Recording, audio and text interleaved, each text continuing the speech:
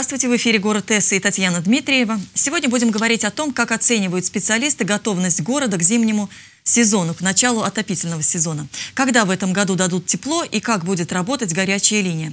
Если уже у вас есть вопросы и вас что-то волнует э, в проблеме обеспечения теплом, звоните по телефону 202 1122. У нас в студии заместитель руководителя управления эксплуатации ЖКХ Департамента ЖКХ Самары э, Богдан Корчуганов. Пожалуйста. Здравствуйте, Борис Здравствуйте. Богдан Юрьевич. Скажите, пожалуйста, вот когда мы говорим подготовка к отопительному сезону, что входит в это понятие, какой комплекс мер? Ну, во-первых, добрый вечер, Татьяна, добрый вечер, уважаемые зрители. Что такое подготовка хозяйства к зиме и что в нее входит, что она в себя включает? Ну, безусловно, это подготовка всей отрасли э, коммунального хозяйства к работе в осенне-зимнем периоде. Это подготовка э, теплогенерирующих компаний, это подготовка теплосетевых организаций, это подготовка э, жилого фонда к работе э, в этот период. Если э, мы с вами говорим о сроках, когда это все происходит, когда это начинается, когда это заканчивается, в принципе, этот процесс, он идет э, круглогодично и постоянно. А В зимний период идет разработка проектно-сметной документации. Э, Весной уже э, издается постановление главы городского округа Самара о подготовке, где отражаются все мероприятия, которые будут выполняться. И, соответственно, уже в настоящий момент э, те же самые ресурсоснабжающие компании предусматривают э, мероприятия на следующий год, э, так как эти организации тарифицируются, их деятельность осуществляется на основе утвержденных тарифов. И, соответственно, затраты на э, выполнение тех или иных мероприятий предусматриваются действующими тарифами на разные виды ресурсов. А сегодня уже есть какая-то конкретная дата установленная, к которой город должен быть готов к отопительному сезону? Безусловно, это отчетная дата 15 сентября, она определена постановлением главы городского округа. И э, все организации, осуществляющие свою деятельность э, в коммунальном комплексе, к этой дате должны быть готовы. Это должны быть, как я сказал, подготовлены дома. А как определяется эта готовность? Что должно быть в наличии, чтобы вот точно знать, что дом готов, учреждение социальное готово к к отопительному сезону? Какой пакет документов или что? Проведена проверка? Как это все происходит? А, Безусловно, э, итоговым документом это является, если мы говорим о многоквартирном доме, это паспорт готовности дома. Это что на доме выполнен комплект, э, комплекс мероприятий там, по ограждающим конструкциям, по кровлям, по э, трубам, и, ну, инженерным сетям, назову одним словом подготовлен персонал. Э, Соответственно, управляющая компания, она будет получать паспорт готовности.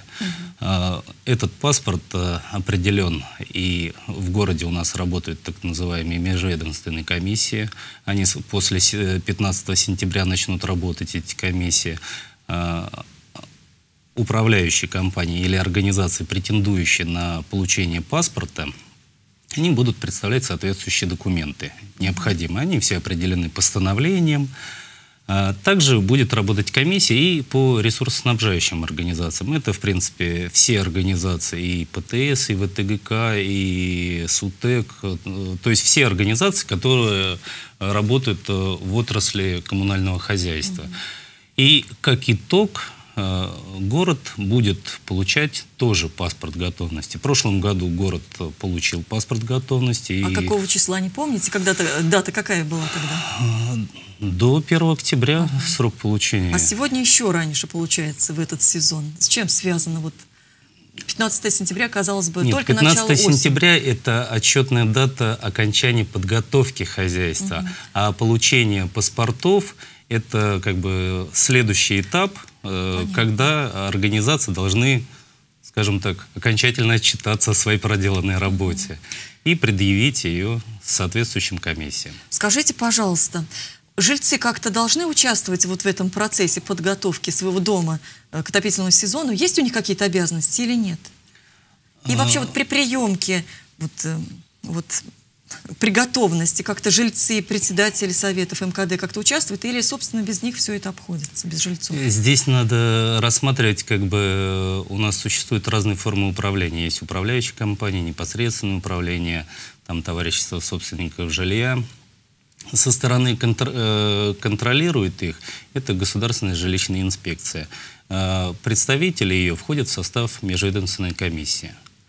Э, житель э, как таковой, он в принципе не должен в этом участвовать. Почему? Потому что он свою изъявил волю, угу. отдав дом и свое имущество, находящееся в собственности, в управление управляющей компании, которая от его имени и как бы подготавливает. Понятно. Ну, на что-то нужно обращать внимание при подготовке, когда проводится вот подготовка совсем-совсем вот сегодня, сейчас, в эти дни или нет?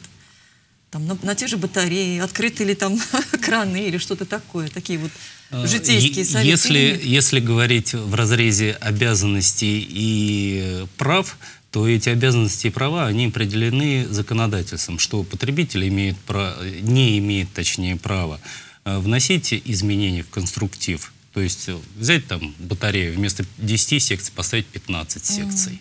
Mm. Взять, установить краны, которые не предусмотрены проектной документацией. А если говорить э, о разрезе обязанностей, то он обязан допустить аварийно-диспетчерскую службу. Если э, говорим о какой-то аварийной ситуации, то законодательно это закреплено, что круглосуточно, угу. в любое время. Если говорим о какой-то плановой работе, то по согласованному с ним э, времени. Понятно. Богдан Юрьевич, в этом году приблизительно уже известна дата, когда все-таки в дома будет поступать тепло? Или это все климатическими какими-то условиями каждый год фиксируется? регулируется? Вот как это происходит? Э, здесь мы с вами опять э, должны разделять два понятия. То есть э, дома, которые подключены к центральным системам отопления, и дома, имеющие индивидуальные системы отопления. Ну, на ряде домов есть там крышные котельные, модульные котельные и так далее, которые входят в состав общедомового имущества. Вот если мы говорим об общедомовом имуществе, то решение принимают собственники. Угу. У нас все идет от собственника. Понятно. То есть житель, собственник, и он принимает решение, когда запустить, когда дать тепло и так далее.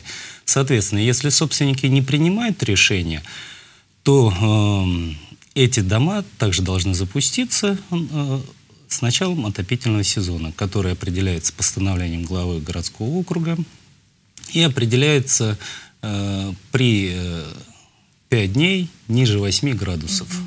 После этого начинается Сегодня отопительный пока сезон. таких никаких нет, приблизительных. Ну, вот. ну, приблизительных ориентируемся октябрь месяц, угу. это безусловно, потому что статистика и практика показывает, что отопительные сезоны там и 1 октября, 5 октября, 10, 12, то есть э, посмотрим, какая у нас осень будет.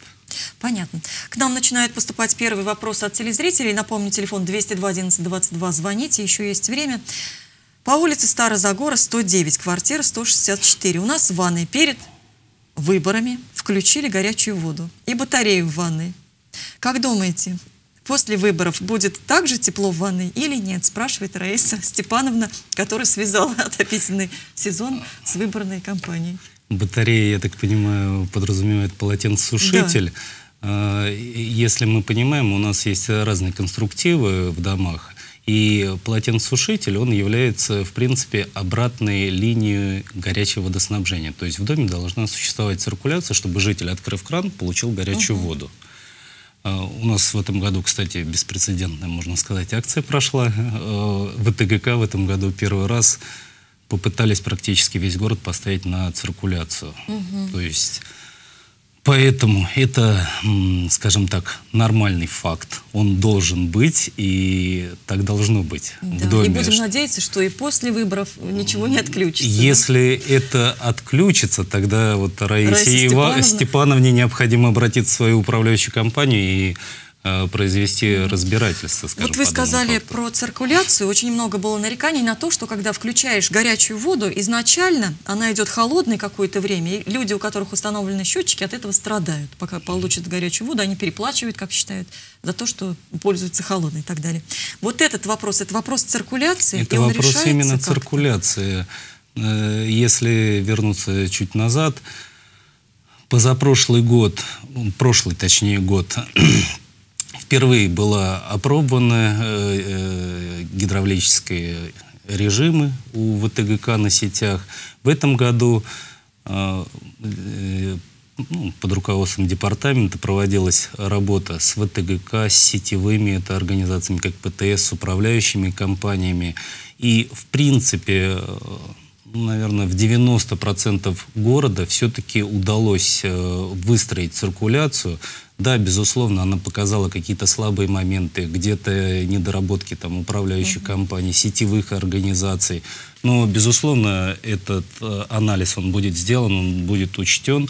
И в будущие года как бы постараемся, чтобы э, циркуляция была. И наши уважаемые жи э, жители получали качественные коммунальные услуги и качественный ресурс. Поэтому, если нету циркуляции, э, здесь может быть конструктивная особенность дома. То есть у нас не во всех домах предусмотрены циркуляционные линии. В принципе, этот анализ уже был сделан, управляющим компаниям он роздан.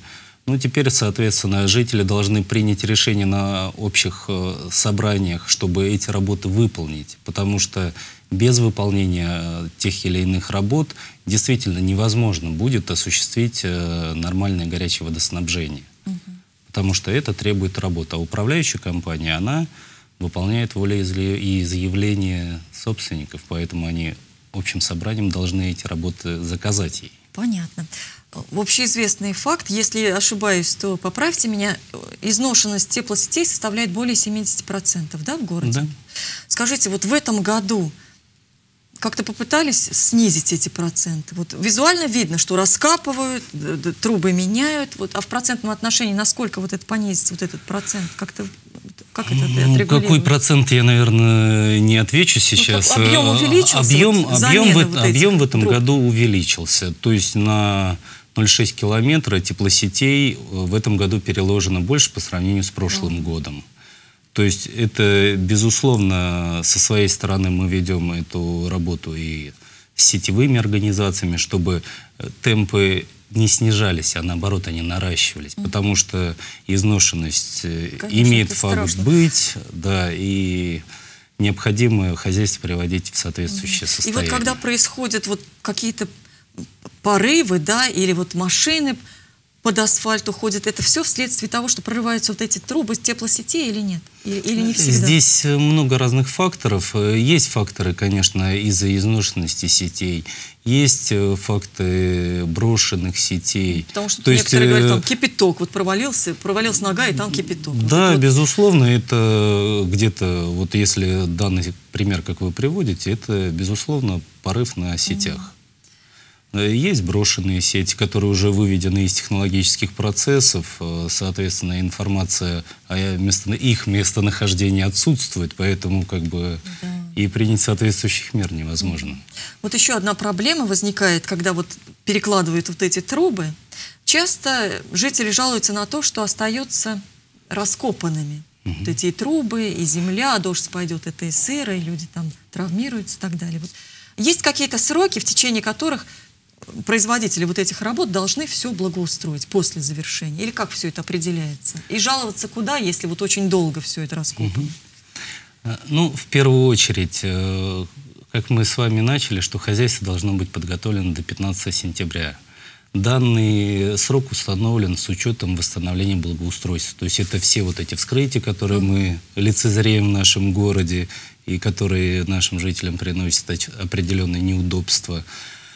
Э, в случае, э, бывают моменты, в прошлом году у нас были определенные моменты по ВТГК, что э, не успевали они заделать из-за ну, где-то, наверное, ряда объективных, где-то субъективных причин. Срок этот определяется при получении ордера на проведение земляных работ, который выдает ГАТИ mm. И они Заказ... же контролировать, зака... да? Они, естественно, контролируют. То есть заказчик перед тем, как получить, он представляет график производства работ. И в этом графике определены и сроки на восстановление благоустройства. Поэтому ГАТИ, безусловно, это контролирует. Э, и по окончанию этих сроков, если организация-заказчик не э, произвела благоустройство, выходят административные комиссии, данные организации привлекают к административным штрафам, угу. причем штраф, скажу, достаточно серьезный, от 300 до 500 тысяч рублей. В прошлом году, в частности, у нас, по-моему, три компании такие штрафы получили. Да. Поэтому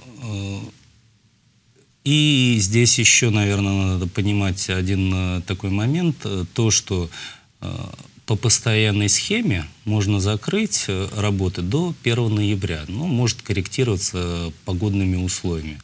То есть, если эти работы после 1 ноября, то их по постоянной схеме однозначно не примем. Ну, комиссия, точнее, угу. не, не мы, департамент, а комиссия, она не принимает. И с наступлением весны от данной организации требует привести э, данные участки в надлежащее mm. состояние. Понятно. К Раисе Степановне присоединился дом 202, 209 по Старой Загоре. Я так понимаю, что у них тоже все хорошо с полотенцесушителями.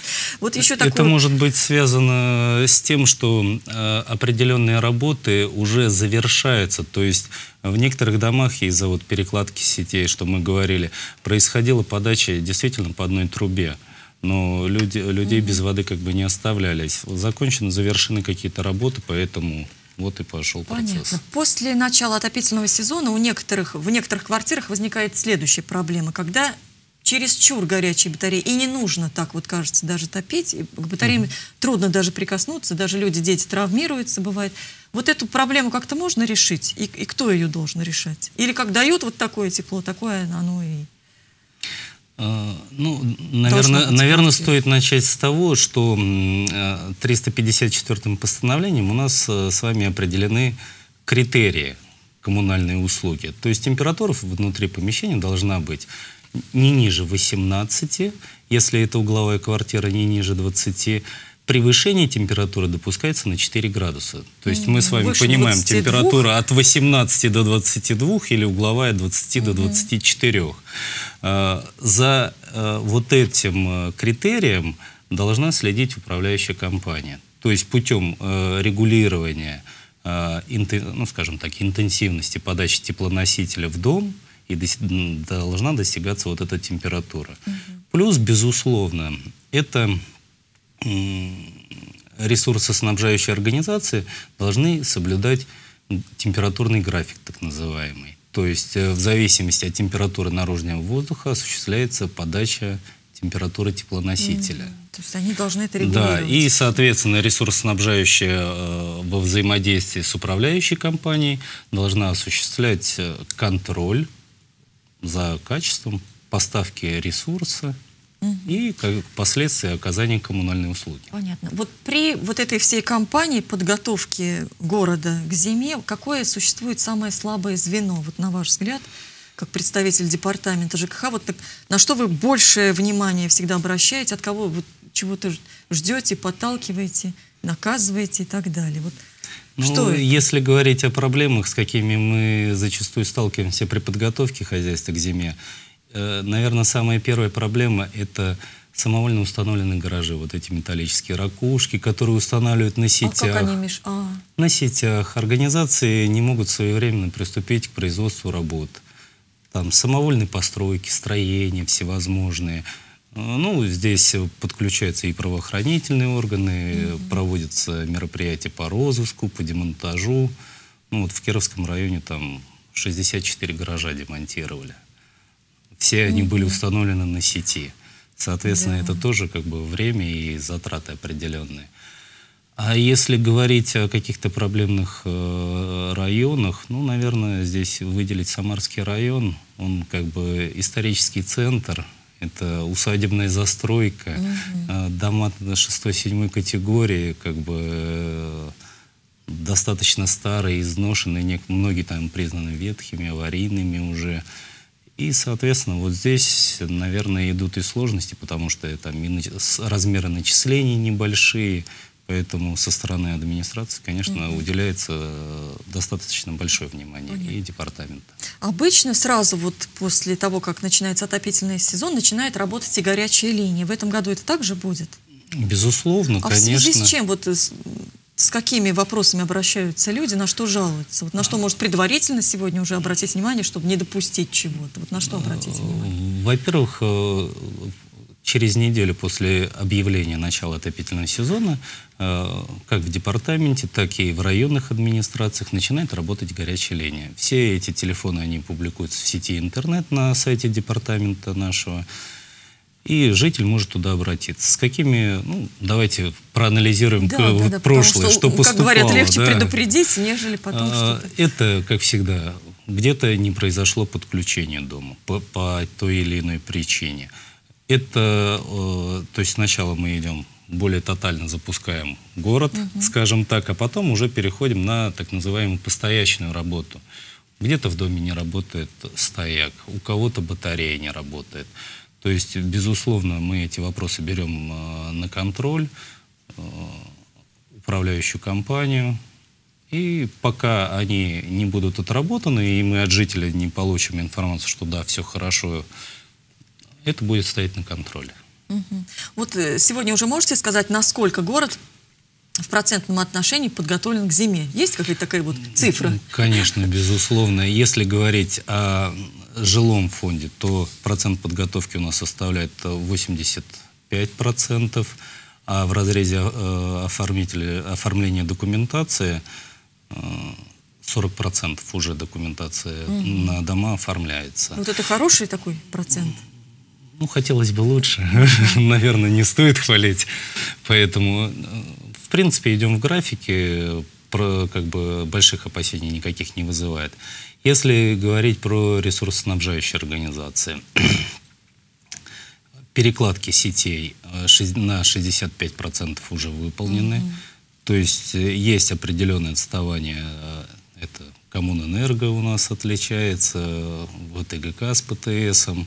Есть определенные отставания, но есть понимание, что до 15 числа все те тепломеханические схемы, так скажем так, будут собраны, и люди все равно получат свое тепло вовремя и в сроки. И э, хозяйство будет подготовлено. Если говорить про объекты социального Да, вот назначения, им это школы, да, уделяется. безусловно, школам а, всегда это особое, тем более в преддверии 1 сентября, то здесь процент уже 87. То есть и э, сегодня, вот, в частности, прошел как раз один из штабов подготовки хозяйства к зиме.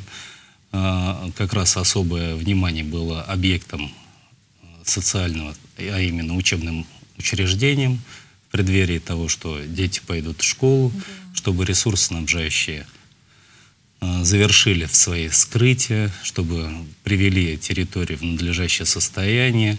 Э, Некоторые объекты подключили к горячему водоснабжению э, ввиду там, профилактических, ремонтных работ. э, Поэтому Мгм.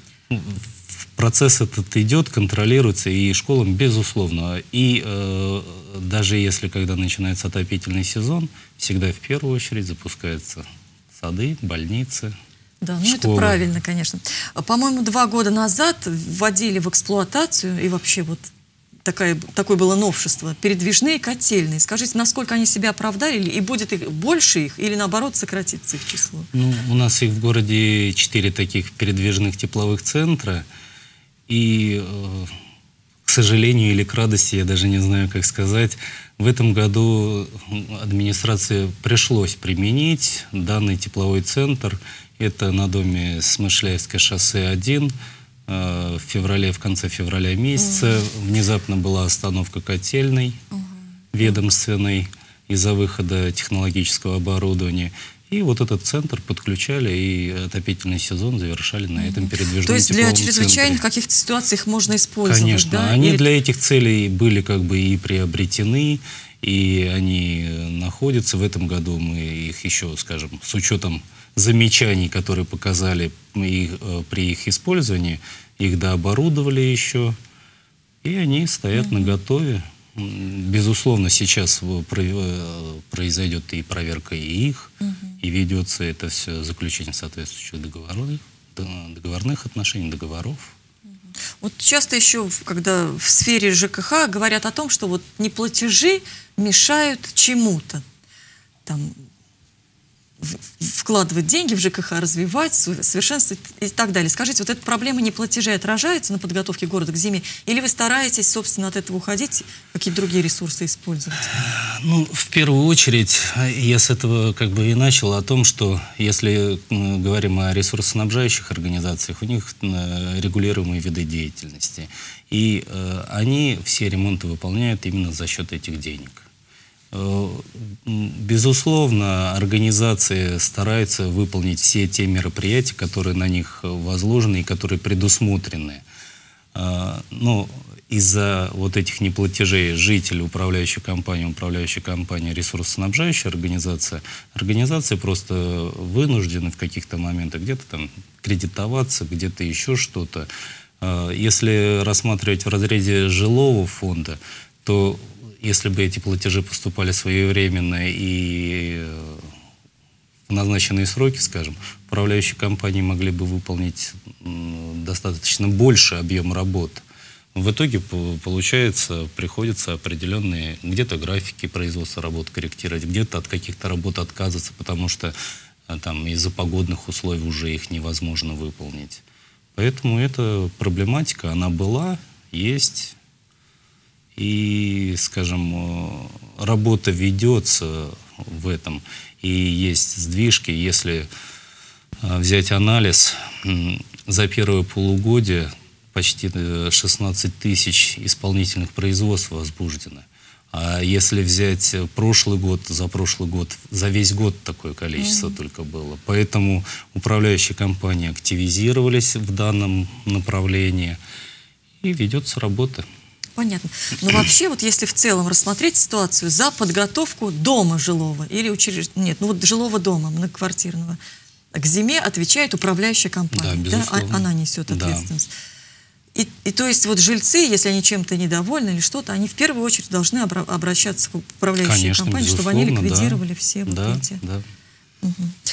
Так, значит, мы разобрались с тем, что в октябре, и что, собственно, процент довольно хороший подготовки уже города к зиме. Скажите, в таком случае, что еще остается сделать?